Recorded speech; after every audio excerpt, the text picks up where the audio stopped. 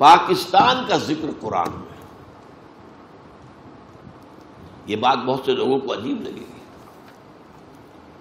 پاکستان کا ذکر قرآن میں آج سے چودہ سو برس پہلے۔ اس کے ضمن میں پہلے تو آیت سن لیجیے، آیت نمبر دس ہے یہ سورہ انبیاء کی۔ لقد انزلنا الیکم کتاب فی ذکر افلا تاخلون دیکھو ہم نے تمہاری طرف ایک کتاب نازل کر دی ہے، جس میں تمہارا ذکر ہے۔ تاکہ تم عقل سے کام اب یہاں اس آیت میں ذکر کے دونوں معنی ہو سکتے ہیں۔ ذکر ہمارے حالات کا بیان یا ذکر نصیحت، تمہارے حصے کی نصیحت۔ لیکن ایک عظیم حدیث میں آ کر بات جو ہے وہ طے ہو جاتی ہے۔ فی ہے ذکر و ماں بادکم وہ خبر و ماں قبل کم و حکم ماں بینکم۔ اس میں تم سے پہلوں کا بھی ذکر ہے تمہارے بعد کے حالات بھی ہیں یہ آگے نہیں آگے، بعد کے حالات بھی اور تمہارے مابین جو بھی کوئی اختلافات کبھی ہوں گے، ان کا حکم اور ان کا حل موجود ہے۔ من قال بھی صدقہ جو شخص اس قرآن کی بنیاد میں کوئی بات کہے گا، وہ سچ کہا اس نے۔ ومن حکم ہی عدلا اور جو اس قرآن کے ذریعے فیصلہ کرے گا، اس نے عدل کیا۔ ومن عاملہ میں اجرا اور جس نے اس پر عمل کیا، اس کو اجر مل کر رہے گا۔ ومن دا الیہ فقط ہو دے الا صراط مستقیم جو اس قرآن کی طرف بلائے گا لوگوں کو، اس کی ہدایت ہو گئی سیدھے راستے کی طرف۔ بس کرو ان تم کلیل یاد کرو ذرا، جب تم ہندوستان میں، اب یہ میں ایڈ کر رہا ہوں، اقلیت میں۔ ہندو چار گنا، زیادہ تعلیم یافتہ، سرمایہ دار، انگریز کے قریب۔ انگریز نے حکومت چھینی تھی مسلمان سے، مسلمان کو وہ سمجھتا تھا اس میں بغاوت کی جراثیم ہے ہندو کے لیے کیا تھا؟ چینج آف ماسٹرز پہلے مسلمانوں کے غلام تھے، اب انگریزوں کے ہو گئے، ان کے لیے تو کوئی بڑی بات تھی اس وقت جو خوف تاری تھا۔ بس گرو تم کلیل مستقفون فی الارض زمین میں تمہیں دبا لیا گیا۔ ہندو غالب تھا۔ جو پروونسز جو تھے، جہاں مسلمان اقلیت میں تھے، وہاں کوئی ہندو غالب تھا۔ میجورٹی میں بھی تھا۔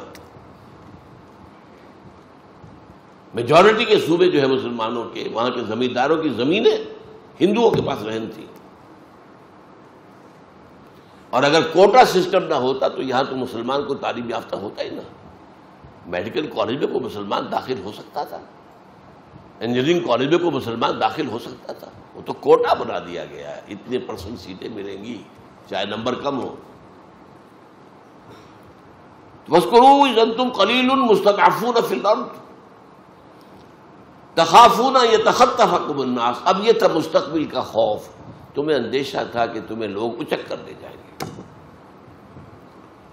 ہندو چھا جائے گا، ہندو ایکسپلائٹ کرے گا۔ ہندو تمہارا مذہب تبدیل کرے گا۔ ہندو تمہاری زبان ختم کر دے گا۔ ہندو تمہارا کلچر ختم کر دے گا۔ اس کے عزائم نہایت خوفناک تھے نہایت خوفناک تھے، نہایت خوفناک تھے۔ یہ سولہ اپریل انیس سو چھیالیس کو تقریر کی تھی۔ محمد علی جناح المعروف بقائد اعظم۔ یہاں آپ کے حبیبیہ ہال، جو اسلامیہ کالج کا ہال ہے، خواتین کے اجتماع میں۔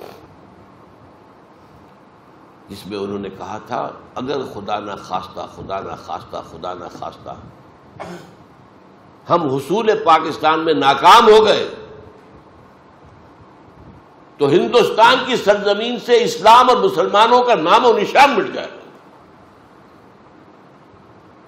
جو شخص ذرا بھی واقف ہے، جناح کی شخصیت ہے، وہ جانتا ہے۔ وہ لفظوں سے کھیلنے والا نہیں تھا، وہ اوریٹر نہیں تھا، خطیب نہیں تھا، جو شیلا نہیں تھا، جذباتی نہیں تھا تو بہت ٹھنڈا آدمی، وکیل۔ وکیل تو بہت ٹھنڈا ہوتا ہے۔ ججی تو نہیں بات کرتا۔ تو تخافون تخت ناس فآواکم، تو اللہ نے تمہیں پناہ دی۔ ہندوستان کے مشرق اور مغرب میں تو ملک عطا کر دیے۔ آؤ۔ کم سے کم اس وقت کے ہندوستان میں جو مسلمان تھے، ان میں سے دو تہائی کو ہندو کے غلبے سے بچا لیا۔ دس کروڑ کل آبادی تھی ہندوستان میں مسلمانوں کی اس وقت۔ اس میں سے چھ ساڑھے چھ کروڑ یہ مشرقی پاکستان مغربی پاکستان میں آ رہے ہیں۔ ہندوستان میں رہ گئے تین، ساڑھے تین کروڑ۔ تو کم سے کم یہ تو بچ گئے نا۔ تو ان حالات میں اللہ اپنا احسان گنوا رہا ہے۔ فاوا تمہیں اللہ نے پناہ دی۔ واحد کم بے نسر ہی اپنی تائید سے تمہاری نصرت خصوصی فرمائی۔ وہ رضا کا کم تو یہ بات اور کتنی خوشحالی پاکستان کے اولین دور میں آئی ہے۔ وہ بھی یاد کچھ ہوگی کسی کو۔ لعلکم تشکرون، تاکہ تم شکر کرو۔ اگر تم ان نعمتوں کا حق ادا کرو گے، ہم اور دیں گے، اور دیں گے، اور دیں گے۔ میں نے وہ اگلی آیت کون سی پڑھی؟ سورہ ابراہیم کی، علیہ السلام والسلام۔ وہ استاذہ ربو کم جبکہ تمہارے رب نے اعلان کر دیا تھا لَإِن شَكَرْتُمْ لَعَزِيدَنَّكُمْ وَلَإِن كَفَرْتُمْ إِنَّ عَذَابِي لَشَدِيدٌ۔ اگر تم ہمارے انعامات پر شکر کرو گے، ان کا حق ادا کرو گے، ان نعمتوں کا حق ادا کرو گے۔ یہ آزادی ہم نے تمہیں دی تھی، اس کا حق ادا کرو گے۔ تاکہ اس آزادی کو اللہ کے قدموں میں ڈال دو۔ اے اللہ، ہم تیرے غلام ہیں۔ ہماری آزادی وہ نہیں ہے، مادر پدر آزادی نہیں ہے۔ ہم آزاد ہونا چاہتے تھے ہندو اور انگریز سے، تاکہ تیرے بندے بنے، تیرا دین قائم کرے۔ اگر یہ ہم کرتے لازیدن نہ میں اس آیت کی روح سے لازم سمجھتا ہوں کہ پاکستان بھارت کے اور علاقے فتح کرتا کم سے کم کشمیر کا تو سوال ہی پیدا نہیں ہوتا کہ جانے دیتا لیکن ہم نے پہلے روز سے ناشکری کی۔ اللہ کے دین کی طرف قدم نہیں بڑھایا۔ میں اس میں نہیں جانا چاہتا کون ذمہ دار ہے۔ پوری قوم ذمہ دار ہے۔ البتہ مختلف افراد کی اپنی اپنی جگہ اہمیت ہوتی ہے اس کے اعتبار سے کسی کی ذمہ داری زیادہ ہے، کسی کی کم ہے۔ لیکن لال لکم تشکرون نہیں کرو گے تو عذاب۔ اللہ نے پچیس برس قبری اعتبار سے پچیس برس مہلت دی۔ پھر عذاب کا پہلا کوڑا پڑا، مشرقی پاکستان۔ ترانوے ہزار ہمارے قیدی، ہندو کے ہاتھ۔ کتنا اسلحہ، کتنے ہمارے جہاز، کتنے ہمارے ٹینک ہندو کے پاس گئے۔ ہمارا مورال زمین پر پاتال میں ہندو کا مورال آسمان زیادہ سے زیادہ چھ دن کی مار تھا مغرب پاکستان، بھارت کے لیے۔ اب وہ تو اللہ کی مرضی تھی۔ نکسن کے دل میں بانٹ ڈالی۔ حدیث میں آیا ہے تمام انسانوں کے دل اللہ کی دو انگلیوں کے ماں بہنیں جدھر چاہتا پھیر دیتا ہے۔ نکسن اندرا گاندھی مرتے دم تک شکایت کرتی رہی۔ Pro Pakistan tilt of Nixon administration اس نے کوسیجن سے بات کی ہاٹ لائن پر، بند کرواؤ جنگ۔ اور کوسیجن نے حکم دیا اندرا گاندھی کو۔ یونیلیٹرل سیز فائر یک طرفہ جنگ بندی، بھارت نے اعلان کیا۔ ورنہ ہمارا سیالکوٹ سیکٹر ٹوٹ چکا تھا، بڑھ رہا تھا بھارت۔ راجستھان سیکٹر ٹوٹ چکا تھا، بھارت تیزی سے بڑھ رہا تھا۔ لے دے کے جنرل ٹکا خان موجود تھے صرف۔ اور یہ سلیمان کی میں ٹاسک فورس لے کر بیٹھے ہوئے تھے، صرف۔ ایئر فورس ہماری پیرالائز کر دی تھی، بھارت نے۔ جبکہ انیس سو پینسٹھ کی جنگ ہم نے ایئر فورس کی وجہ سے جیتی تھی۔ لیکن اکہتر میں آ کر روس نے ان سے ایسے ہیلی کاپٹر دے دیے تھے جن کے اندر کہ وہ ایواکس لگے ہوئے تھے۔ ذرا سا بھی ہمارا جہاز حرکت کرتا تھا، انہیں پتہ چل جاتا تھا۔ اور ہماری بیچاری بیچاری کیا؟ ہماری نیوی ہے ہی کیا؟ بھارت کے مقابلے تو کوئی حیثیت ہے ہی نہیں۔ اس کی ہماری بیچاری نیوی اس کو آ کر وہ کیماڑی میں مار کر گئے۔ ہیں یہ بھی یاد ہے کہ نہیں؟ بہرحال یہ پہلا کوڑا تھا کہ دوسرا اور بڑا کوڑا تنا ہوا ہے۔ یہ دوسری بات ہے موجزہ ہو جائے۔ اللہ اس قوم کے دلوں کو بدل دے۔ جس میں توبہ، حقیقی توبہ پیدا ہو جائے۔ اللہ کی طرف رجوع پیدا ہو جائے، خوشی اور خلو ہو جائے۔ ایک عوامی سطح پر عزم مسمم پیدا ہو جائے۔ اسلام کے لیے جینا ہے، اسلام کے لیے مرنا ہے۔ اور تن من دھن اسلام پر نچھاور کر دینا ہے۔ کوئی عجب نہیں، قوم یونس پر بھی عذاب کے آثار آ چکے تھے۔ اس کے بعد توبہ کی قوم نے تو اللہ نے عذاب واپس لے لیا۔ یہ ایک ہی مرتبہ ہوا، تاریخ میں ہوا ہے۔ اس کا بھی ایک خاص سبب تھا، وہ میں بیان نہیں کر سکتا اس وقت۔ آگے چلیے، کس قدر پیارے الفاظ ہے یہ۔ یا لا تخون اللہ رسول دیکھو اے مسلمانوں، اللہ اور اس کے رسول سے خیانت مت کرو. یہ امانت ہے اللہ اس کے رسول کی تمہارے پاس.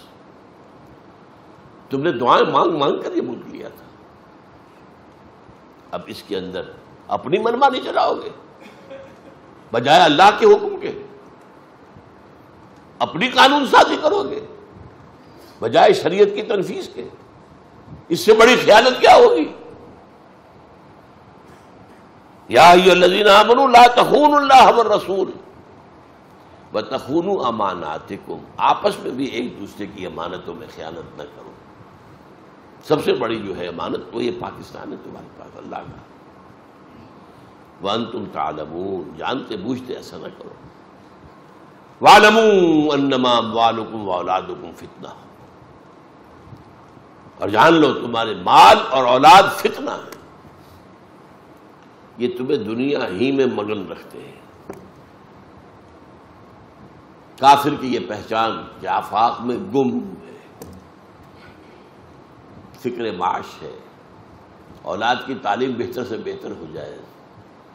دس ہزار، بیس ہزار فیس دینی پڑے، کوئی بات نہیں۔ کہیں سے لے لیں گے؟ ڈاکہ مار لیں گے، رشوتیں لے لیں گے، غبن کر لیں گے۔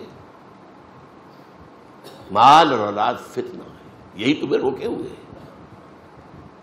یہی تو تمہاری دامن تھامے ہوئے ہیں۔ اللہ کی راہ میں بڑھنے نہیں دیتے۔ مال، ایک بیڑی یہ پاؤں پہ پڑی ہوئی ہے مال کی اور دوسری بیڑی جو ہے وہ اولاد کی والم انما والکم و اولادکم فتنہ ان بیڑیوں سے اپنے آپ کو آزاد کراؤ۔ ہتھکڑیوں سے اپنے آپ کو آزاد کراؤ۔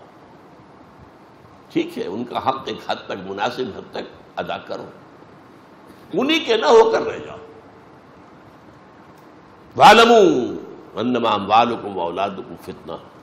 واللہ عندہ اجر عظیم۔ اور دیکھ لو، اجر تو اللہ ہی کے پاس ہے۔ اولاد تمہیں کیا اجر دے دے گی؟ تم نے اپنے آپ کو کھپا دیا اولاد میں پوری جسم و جان کی قوت نے پیسہ کمانے پر پیسہ لگا دیا اولاد پر اور یا مکانوں پر اور بلڈنگوں پر۔ ان میں سے کون سی چیز ہے جو تمہیں کو بدلہ دے سکے گی؟ یہی اولاد جوان ہو کر سینہ تان کر کھڑی ہو جاتی ہے۔ نہیں جی آپ تو دقیانوسی آدمی ہیں۔ آپ تو پرانے دور کے آدمی ہیں۔ میں آپ کی بات نہیں مان سکتا۔ اس کا سینے پر سانپ لوٹتا ہے۔ یہ میرا بیٹا بول رہا۔ یہ وہ ہے جسے میں سمجھا تھا، یہ میں ہی ہوں۔ یہ میرے وجود کا تسلسل ہے۔ اور یہ آج اس طرح کھڑے ہو کر، سینہ تان کر، اور مجھ سے بات کر رہا باقی تو آپ کو معلوم ہے، والدین کو قتل بھی کر دیتے ہیں۔ جائیداد کے لیے، کوئی جھگڑے کے لیے، کوئی اور ہو گیا۔ یہ سارا کچھ ہو رہا ہے تمہیں اس کے بعد پھر میں نے وہ آیت پڑھی تھی سورہ ابراہیم کی، جو اس پہ پہلے پڑھ چکا ہوں۔ اللہ کا قانون یہ ہے، وہ کسی پر نعمت دیتا ہے تو اگر اس کا حق ادا کرے تو اور دیتا ہے، اور دیتا ہے، اور دیتا ہے۔ اور اگر کفران نعمت کرے، کفران نعمت، تو میرا عذاب بھی شدید ہے۔ ایک شدید عذاب کا مزہ ہم چکھ چکے ہیں، لیکن وہ عذاب اکبر نہیں تھا۔ پاکستان ختم ہو جاتا، یہ بھی ہو سکتا تھا۔ میں نے تو ابھی آپ سے کہا، میں ڈنکے کی چوٹ کر رہا ہوں۔ سن اکہتر میں صرف چھ دن کی مار تھا Pakistan Bharat. It could have vanished from the map of the world right in nineteen seventy one یہ اللہ نے مزید مہلت دی ہے۔ مزید مہلت دی مزید مہلت دی اور مہلت کن کے ذریعے سے دلوائی ہے؟ ہمارا زور چلتا تھا نکسن پر کوئی۔ ہمارا زور چلتا تھا کوسی جن کے اوپر۔ اور اندرا گاندھی تو فاتح تھی، وہ ہماری بات سننے والی کہاں تھی؟ اس نے تو بڑے فخر سے کہا تھا، ہم نے نظریہ پاکستان، دو قومی نظریے کو خلیج بنگال میں غرق کر دیا ہے۔ کہاں گیا تمہارا دو دو قومی نظریہ؟ کیوں علیحدہ ہو گیا مشرقی پاکستان؟ اگر تم ایک قوم تھے۔ اور ہم نے اپنی ہزار سالہ غلامی کا بدلہ چکا لیا مسلمانوں سے۔ یہ اس کی فاتحانہ شان تھی، اندرا گاندھی تو اگر تم کفران نعمت کرو گے، تو پھر میرا عذاب بھی بہت سخت ہے۔ پھر اس کے لیے تیار ہو۔ اور وہ عذاب کیا ہے؟ وہ تقوفت اللہ تسیبن الزین ظلم منکم خاص وہ جب آئے گا، عوامی عذاب جب آتا ہے، تو وہ پھر فرق نہیں کرتا۔ آخرت میں جو عذاب ہوگا وہ انڈیویجول بیسس پر ہوگا۔ آپ کا حساب کتاب یہ ہے۔ انڈیویجول کل آتی ہے یوم القیامت فردا۔ وہاں قومی سطح کا حساب نہیں ہے۔ قومی سطح کا حساب یہاں ہوتا ہے۔ اور یہاں پہ پوری قوم پکڑی جاتی ہے۔ جیسے کہ میں اسپانیہ کی مثال دے چکا ان تتولو یستبدل قوم غیرکم ثم لا یکونو امثالکم۔ اے مسلمانوں، اگر تم پیٹھ دکھا دو گے، ہم نے تمہیں ایک بہت بڑا اونچا مقام دیا وہ تباہ تمہیں چن لیا ہے۔ تمہیں خیر امت بنایا ہے۔ کن تم خیر امت خردت الناس اب اس کی اگر ذمہ داریوں کو ادا نہیں کرو گے پیٹ موڑ لو گے، تو تمہیں ہٹائیں گے کسی اور قوم کو لے آئیں گے۔ ہمارا کام تو ہونا ہے۔ ہم محتاج نہیں ہیں تمہارے۔